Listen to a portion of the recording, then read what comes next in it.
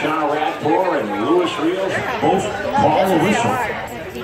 So polo was a cavalry training exercise for the last couple thousand years. That's why it has still remained in the forefront today. Keep in mind that we had a cavalry here in America until the advent of World War II. We still have a member of our polo club that was a member of the United States Horse Cavalry.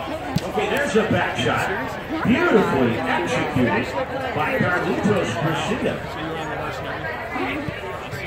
Cleared in the far corner by Alfredo Bigatti. Look at Bigatti! Just behind the post again. That's where it ended up the last time. Just over a minute remaining here in chapter numero uno. Jason Rose and his family in from Scottsdale. So delighted to have them. I can't get the shot. Everybody going over the top of the ball, crank cans and firing it. It's deflected. He's going to try to maneuver it around Just in the get the bucket, shot. but Just get the shot. no, I Then don't just shoots the goal. Anticipating the don't of Nacho.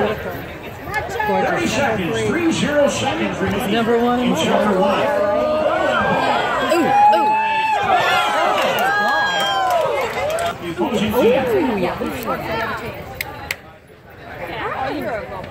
Seconds, get ready to cover your ears.